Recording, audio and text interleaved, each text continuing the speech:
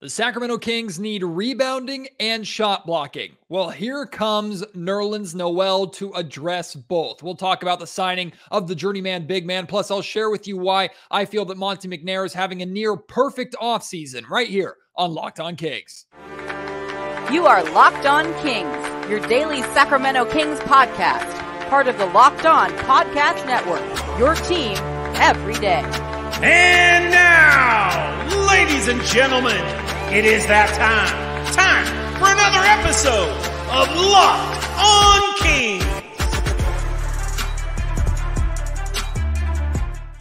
Hello and welcome into Locked On Kings, your podcast hub for Sacramento Kings coverage all off season long. My name is Matt George. I have the privilege of being your host here. I'm a Sacramento sports reporter and producer for ABC 10 News. And here the Sacramento Kings are continuing to make moves. We knew coming into the day that they still had two roster spots remaining and one two way spot. So we knew the offseason wasn't completely done. Although the big splash moves, the big fireworks, the big money moves, those are in the past. And this Nerlens Noel pickup now, this Nerlens Noel signing, really speaks to a solid move or a move that is understandable without being anything to break the bank or really move the needle exponentially or, or, or it's not not a move to be overly excited about or to be upset about or frustrated about by any means because in reality at, at, this point we're talking marginal moves extreme depth moves end of the bench type moves. So essentially what you want in these type of of moves is bring in someone that makes sense towards addressing needs or that makes sense towards if you have to call their number if you need to bring them into a game at any point over the course of the season whether it's because of injury depth or just uh, you you need a specific skill out of them or whatever that they're able to provide that.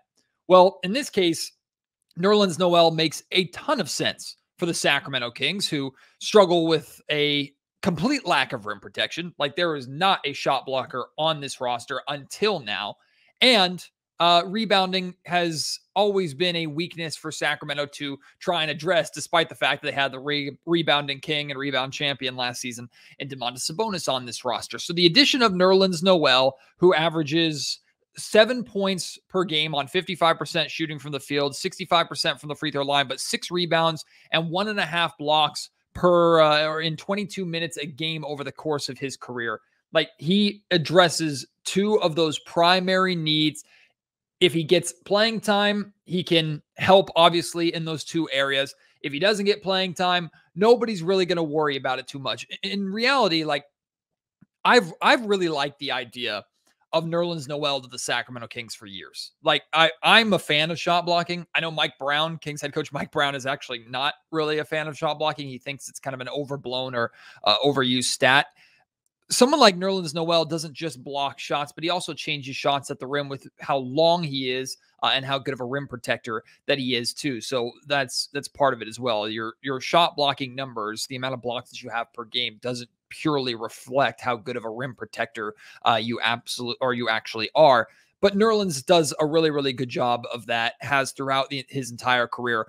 Over the course of his career, he's gone from a top pick in Philadelphia with high upside and, and talked about as the center of the future to a journeyman who has bounced around. This is the seventh team. The Kings are going to be the seventh team that he has played for in his career and he's gone from i mean you can you can look at his his game logs or his season by season numbers and you'll just see the games played just continue to go down down down down down.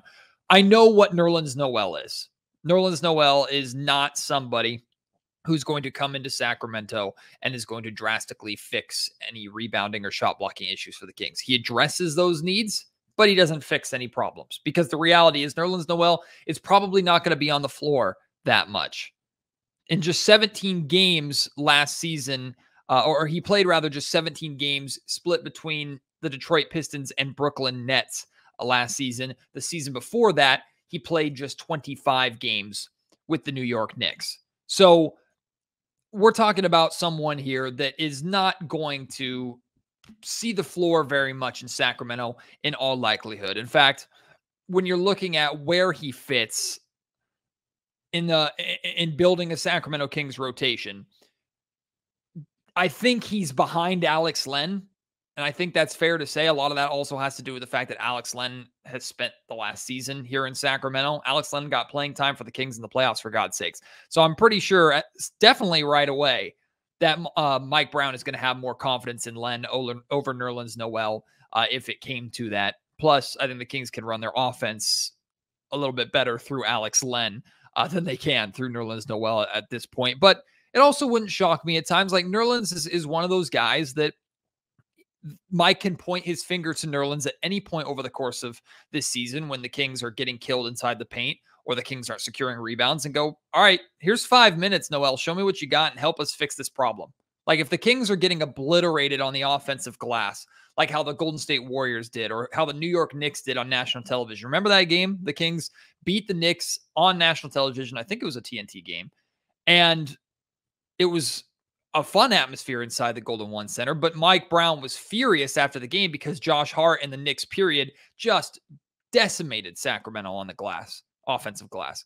Nerlens Noel is someone while this is going on, you could say, okay, whoever's out there, take a seat, take a rest. Sabonis, you've been playing forever.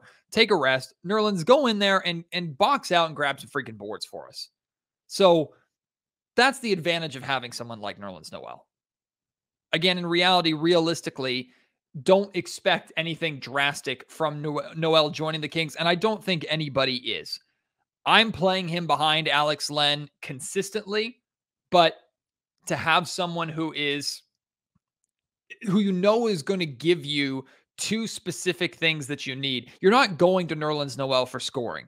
You're absolutely not going to Nerlens Noel for floor spacing. Like he's not a three point shooter. I think his his shooting percentage from three is probably like in the 20s or something like that. I didn't even write it down because it's irrelevant. Like he's not a three point shooter.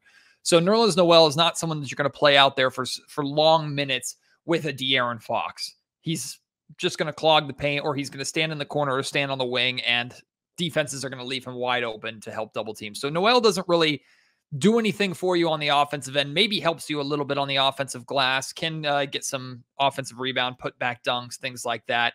Uh, if you if you run a pick and roll with Nerlens Noel, which primarily is probably the only way you have any kind of effective offense with him on the floor, it's a lot of like dump off, drop off passes. Like I could see Nerlens Noel and Malik Monk actually having a really good kind of two man game between the two of them with how well Monk showed last season that he could play uh, with bigs, especially in and around the paint, attacking the rim. Um, so maybe that could work in that sense. But overall, offensively, Nerlens Noel is not going to give you much and at times might even hinder you. But defensively, you know what you're getting out of him. If you have a decent lead, like here's a here's a situation, a scenario where I could really see the Kings like giving Noel a, a little bit of playing time. Let's say it's late in the the the second quarter, or let's say it's midway through the third quarter. De'Aaron Fox has just come out of the game, right, preparing him for the fourth quarter, and the Kings have a 12 point lead, and they're just trying to hold that, maintain that, or have it dip just slightly while they get rest for Fox and Sabonis to get them ready for a, a big fourth quarter push. Nerlens can come in and play five minutes, and at the very least, like try and just hold the line, secure rebounds, protect the rim, box out don't get killed in the paint, and then offensively just do enough to to keep pace. Like that's it sounds like such a low bar, and maybe you're underwhelmed by that scenario of Nerlens Noel playing, but realistically, like that's what I think he is going to be for the Sacramento Kings. You know, I, I saw someone talk about Hassan Whiteside, the Hassan Whiteside move that the Kings made a couple years ago, trading De- DeLon Wright for Hassan Whiteside, which we still don't know why Monte McNair did that. That's one of his like two moves his two major moves that he's made that I'm just like, why? um, the Hassan Whiteside trade was significantly different because the Kings gave up something of, of pretty good value. Like DeLon Wright is a really good backup point guard in this league. And the, the Kings could have absolutely still used him. And I understand why they made that move for Hassan Whiteside, kinda, because they were they hadn't re-signed Richaun Holmes yet. They were potentially going to lose Richaun Holmes and have no big man depth period. So it might have been a little bit of a kind of protect our protect ourselves just in case, break glass in case of emergencies type starting center uh, move for the Kings. Ultimately, did not work out. Hassan Whiteside was slow. He did protect the rim. He did rebound the basketball, but he was slow, overall ineffective. The Kings ended up didn't they trade him that year or something to did they trade him to Utah or did he leave I don't even remember. He just somehow went to the Utah Jazz. That didn't work. This is very different from that Hassan Whiteside pickup. They're very similar types of players. And let me be perfectly clear Hassan Whiteside is a better offensive piece, I think, than Nerlens Noel is.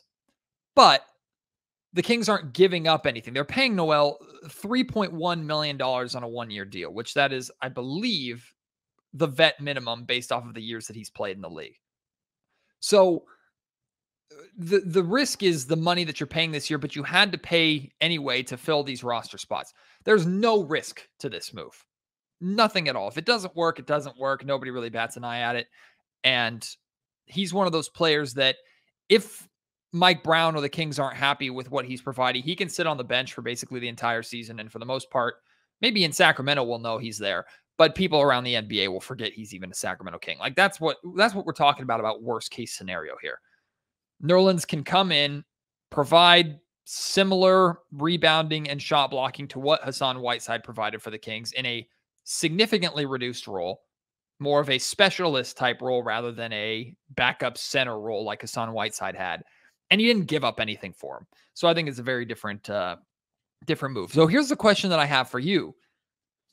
Do you like this move over bringing back Neemias Queta? Because in my opinion, I think Queta's done here in Sacramento. Why would you give the third two-way spot to Nimi I mean, I guess you could, but what does that accomplish? What does it accomplish giving Neemias Queta the third two-way spot and a third year with the Stockton Kings? We already know he's a close to G League MVP type player. We know he's really, really good for the G League level. We do. But clearly, he's not an NBA player yet, or the Kings might not feel that he's an NBA player. You're certainly not giving another roster spot, your final roster spot to Nimi. Why would you? You'd have Nimi You'd have Len, you'd have uh, Noel, and you'd have Sabonis, four centers on your roster. There's no reason for that whatsoever, especially when you still need a, a, third point guard and you could always use more wing or forward depth. Like, why in the world would you do that? So you're not using your final roster spot on Nimi. I don't think it's worth it at all to use your final two way spot. I've shared with you before, and I'll reiterate again later in the pod what I would do with that that final two way spot. I think Nimi's time in Sacramento is done.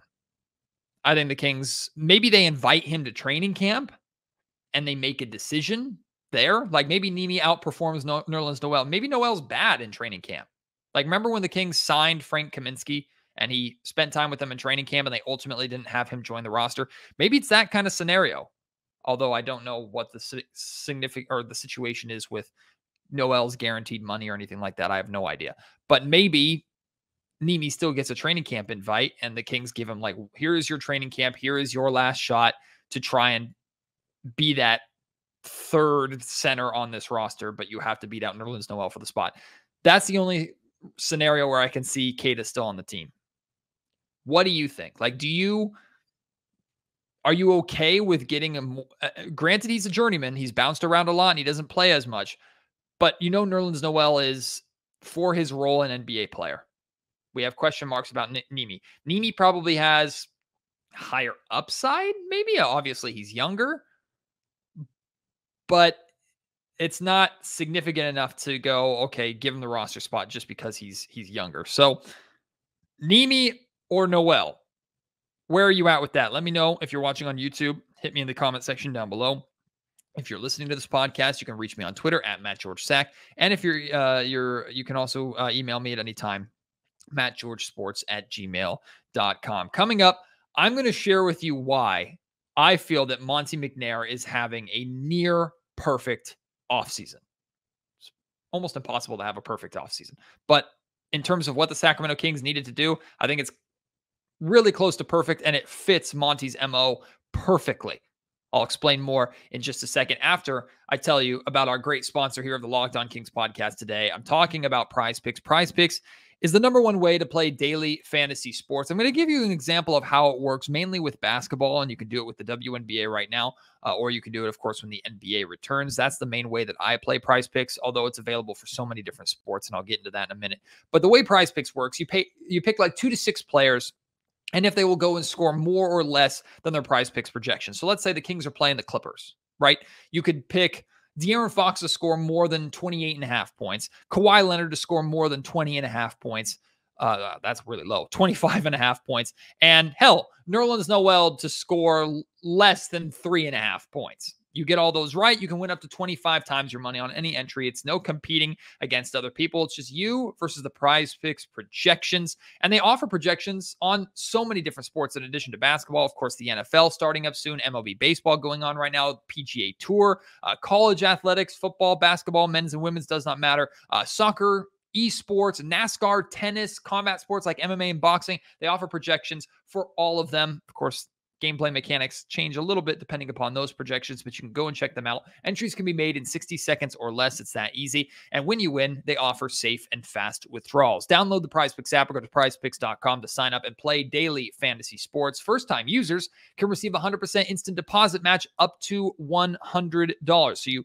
uh, you deposit $100, you get $100. You deposit $50, you get $50. All you have to do to get that is use our promo code locked on. Again, that's promo code locked on at sign up for an instant deposit match up to $100. I had someone in my comment section not too long ago ask, Hey, Matt, have the Kings ever made a move that you didn't like? And it, it kind of made me smile. It kind of made me chuckle because I know that there are a lot of people that listen to this podcast, and I know I, I have the reputation, and I have no problem with it. I have a jersey up in my freaking uh, closet over here that says optimism on the back. Like I, I've always leaned towards being positive and excited about moves the Kings made more than negative or pessimistic about it, which is, I think, pretty incredible for someone who has followed the Sacramento Kings for his entire life. And for the most part, they've been absolute tragedy. Um, but that's authentically who I am. So I understand if every single move I try and put a positive spin on it, if you don't like it, you kind of roll your eyes at that and go, oh, here we go again. Matt likes anything the Sacramento Kings do. He's a show for the organization, blah, blah, blah, blah, blah. If that's how you feel, like I can live with that. I'm okay with that. And and you're more than entitled to uh, your opinion. If you don't like the move, if you don't like the Nerlens Noel signing, sure, great. If you didn't like the Harrison Barnes signing, I think you're wrong, but that's fine. Like I have I have no absolute issue uh, with it whatsoever. So I want to explain to you why, especially right now, every move that I feel Monte McNair is making is worth being positive about and worth celebrating. First and foremost, because I think Monte has earned it with his track record. Second, Monte is staying completely consistent to who he has been and said he was as a general manager when he first got here to Sacramento. He makes marginal, smart improvement moves while remaining flexible. He traded away Richaun Holmes and Omax Prosper on draft night, and you could not like the fact that the Kings don't have Omax because he played really well in summer league for the, the Dallas Mavericks and was like a high upside defensive prospect. You don't have to like that part, but he used that to open up money to put together the offseason that he's had. You might not like the fact that the Kings are essentially running their same core back. You might have felt like the Kings needed to have more significant improvement than they've had. You might be right. But I think Monte has shown a consistency over the course of his time as a general manager. And for the most part, with the exception of some errant decisions like the Hassan Whiteside decision or the decision not to move on from Luke Walton, which we still don't know how much that was his decision and how much it was the front office or rather ownership's decision financially after COVID. No clue. Not really worth speculating. We're just going to say it was Monte's decision because he's the general manager. I really didn't like the Bogdan Bogdanovich decision to let Bogey walk, even though it's worked out at this point in time. Like, Monte has been consistent throughout his entire time as a general manager. And here he is. He's been the best general manager for the Kings far and away since Geoff Petrie. Like, I don't see any reason to not be at least optimistic or hopeful about the moves that Monte is making. And in the case, look at this. Brendan Nunez pointed this out on Twitter, and I thought just putting it down like made a lot of sense. Look at the moves that Monte has made in terms of improvement this offseason. He's turned Terrence Davis into Chris Duarte. That's an upgrade. I like Terrence Davis. I know national TV Terrence Davis. He probably has more of a offensive upside than Duarte does. I think Duarte is a better fit for the Sacramento Kings. I think Duarte addresses defense more than the Kings. It might only be marginal improvement, but I think it's improvement. Duarte is definitely kind of a Monte McNair type guy. And remember, Terrence Davis was one of Monte's first moves in one of his first off seasons uh, acquiring TD. So I think that's an improvement. You've turned Chimezie Metu and Sasha into Sasha Vezenkov. You can't tell me that's not an improvement because I have so many people in my comment section telling me I'm sleeping on Vezenkov and he's going to be a starter for the Sacramento Kings midway through the season. Maybe you're right. I really don't think so. I don't think there's I don't think there's a scenario unless there's an injury where Vezenkov is replacing Keegan Murray or Harrison Barnes in the starting lineup. Certainly not Keegan. But maybe I'm wrong. But Vezenkov should absolutely, in terms of how the Sacramento Kings play, should absolutely be an upgrade over Chimezie Metu as a backup four and, and someone who can, can space the floor. So big upgrade there, I think. And then you've turned Richaun Holmes now into uh, Nerlens Noel. Okay. Upgrade, maybe not player to player. Richaun Holmes is a better player than Nerlens Noel is. Better offensive player. Eh, kind of probably even on rebounding. Nerlens Noel is definitely a better shot blocker. But here's why I, I think for what the Kings are doing, Noel is a upgrade, air quotes, over Richaun because if Noel gets playing time, he's going to address things that if Richaun Holmes got playing time, Richaun couldn't address. Richaun's biggest upside was offensively. He's an offensive center, a good pick and roll center, a good run the floor center. But Richaun Holmes offensively could not find a way to fit with the Sacramento Kings last season. It was time to move on from Richaun, plus his money on top of that. It was just time to move on, even if I think Richaun is absolutely a better player than Nerlens Noel. Noel is cheaper. And if he's going to play, you know exactly what he's not necessarily uh, is going to, but what he's supposed to give you. So, in that sense, again, maybe it's a marginal upgrade. I think it's an upgrade. So, you have those three moves to bolster the rest of the roster. Three changes that the Sacramento Kings have made this offseason, in addition to bringing back a absolutely established starter in Harrison Barnes, even if some of you don't think he's a starter in the NBA anymore. He is.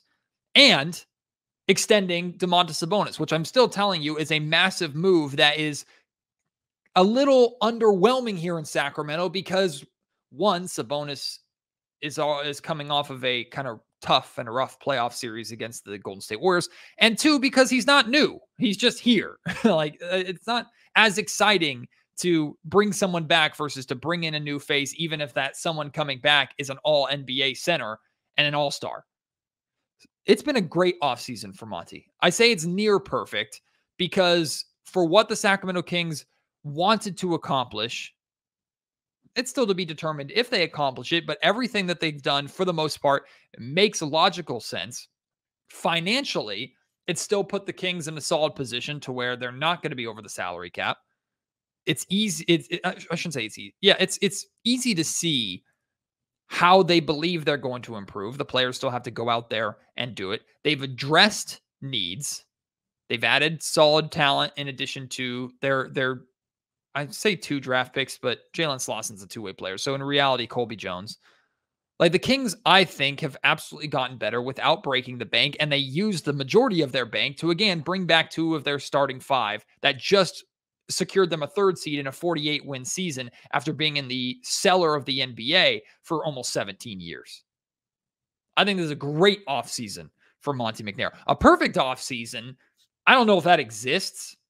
Like a perfect offseason would have been like if you're you're turning off the salary cap on NBA 2K and and fan in a fantasy realm, the Kings are able to resign resign eh, re-sign Domantas Sabonis and somehow trade Harrison Barnes for a Jaylen Brown package or somehow bring Dame Lillard over. I don't know, something crazy and absurd that that realistically wouldn't happen. Like that's a perfect offseason.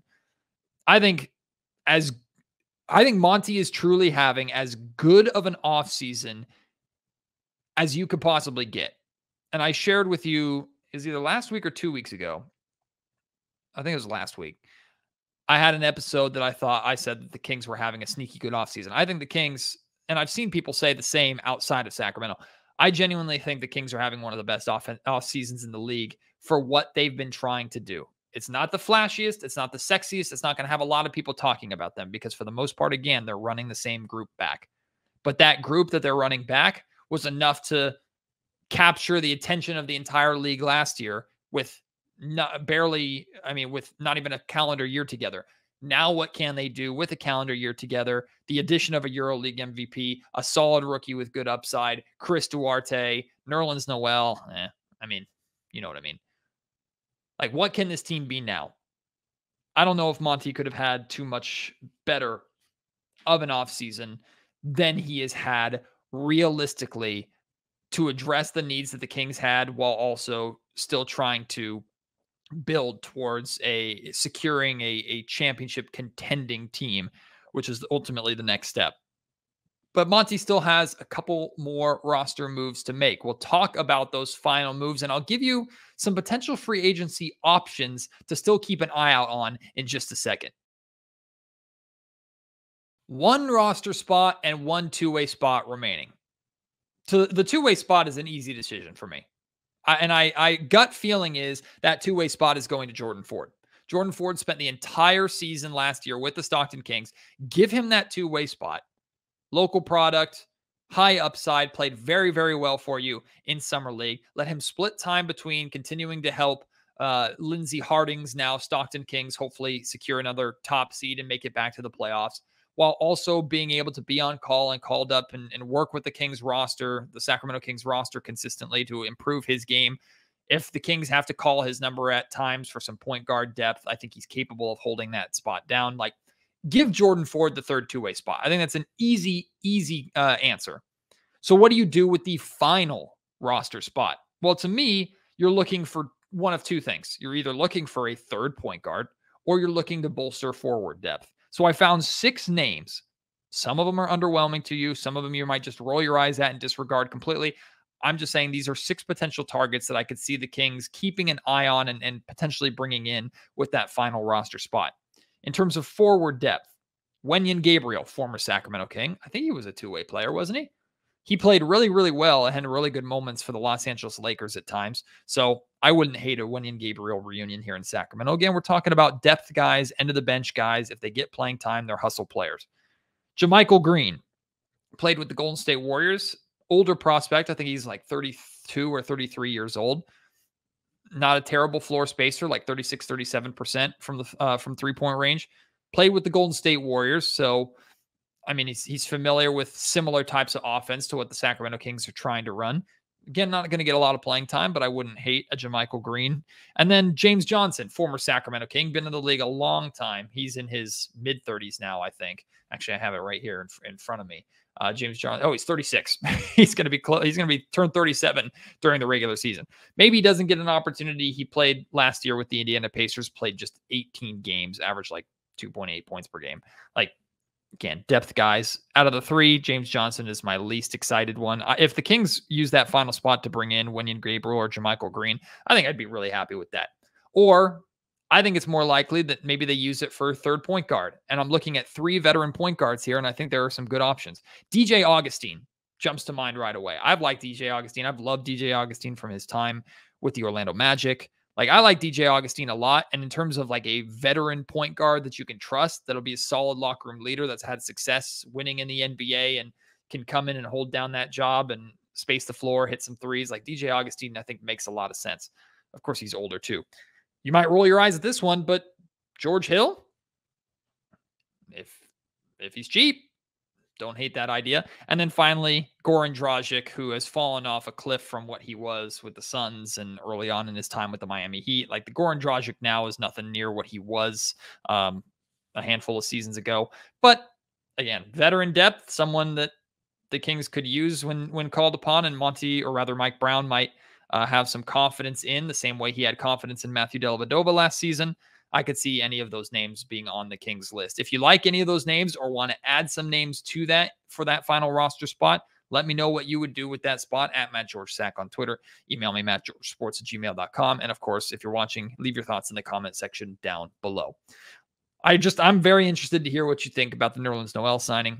I'm very interested to see uh, what it looks like. Hopefully, we'll get some glimpses of it in training camp. I expect Noel to make the roster, but we'll see. We'll see what the uh, deal is with uh, that final two way spot and Neemias Queta's future as well. So there's still stuff to pay attention to and to follow uh, for the remainder of this Kings offseason. And of course, no matter what happens, We'll have all of the information for you right here on the Locked On Kings podcast. We will get through this dry period of the offseason together. Thank you to the Sacramento Kings for giving us this Nerlens Noel bomb firecracker, sparkler, pop, whatever.